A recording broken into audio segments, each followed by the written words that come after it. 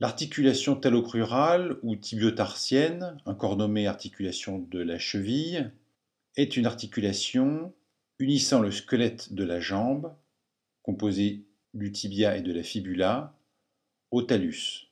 On compare cette articulation, qui est une ginglyme, à un tenon mortaise, car le talus est solidement enchâssé entre les deux os de la jambe.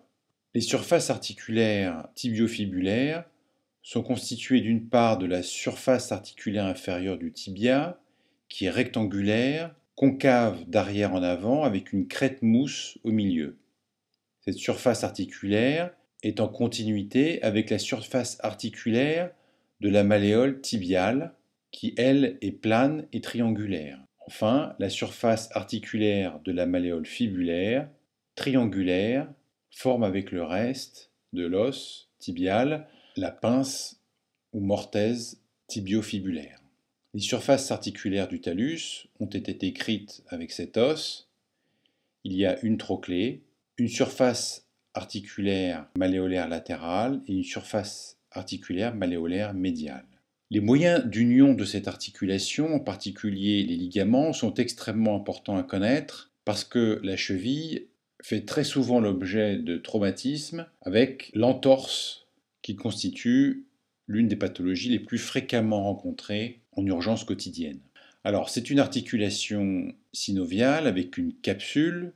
La membrane interosseuse entre la fibula et le tibia joue un rôle dans la cohésion de la pince, de même que l'articulation tibiofibulaire distale.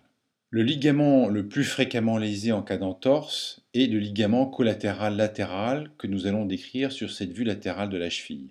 Ce ligament collatéral latéral ou latéral externe est constitué de trois faisceaux. Un faisceau antérieur ou talofibulaire antérieur naît du bord antérieur de la malléole latérale et se termine sur la face latérale du col du talus. Le faisceau moyen ou calcanéo-fibulaire naît du bord antérieur de la malléole latérale et va se terminer sur le tubercule calcanéen latéral du talus. Enfin, le faisceau postérieur ou talofibulaire postérieur naît d'une fossette rétro-malléolaire fibulaire et va se terminer sur le tubercule latéral du talus. Ce faisceau est horizontal. Le ligament collatéral médial, décrit sur cette face médiale, est constitué de deux couches. Une couche profonde, constituée de deux faisceaux, un faisceau antérieur et un faisceau postérieur, naissant de la malléole tibiale, et se terminant sur la face médiale du col et sur le tubercule médial du talus. Une couche superficielle ou ligament deltoïde qui va de l'apex de la malléole tibiale se termine sur un tubercule de l'os naviculaire, sur le ligament calcanéo-naviculaire plantaire, le sustentaculum tali et a globalement, comme vous pouvez le voir, une forme d'éventail.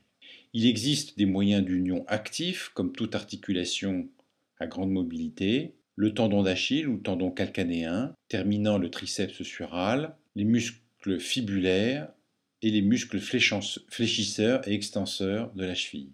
Comme vous pouvez le voir sur cette coupe frontale passant par l'articulation, on note les deux malléoles, internes latérales, les deux faisceaux superficiels et profonds du ligament collatéral médial, le ligament collatéral latéral, et on voit que le talus et le tibia sont en porte-à-faux sur le calcaneus et sur le sustentaculum tali. Il y a donc une tendance naturelle à un mouvement du calcaneus dans cette direction qui va donc avoir pour effet d'étirer le ligament collatéral latéral, celui-ci étant à l'origine des principales entorses de la cheville. Les mouvements à l'origine d'un étirement de ce ligament sont des mouvements d'inversion du pied que nous verrons tout à l'heure.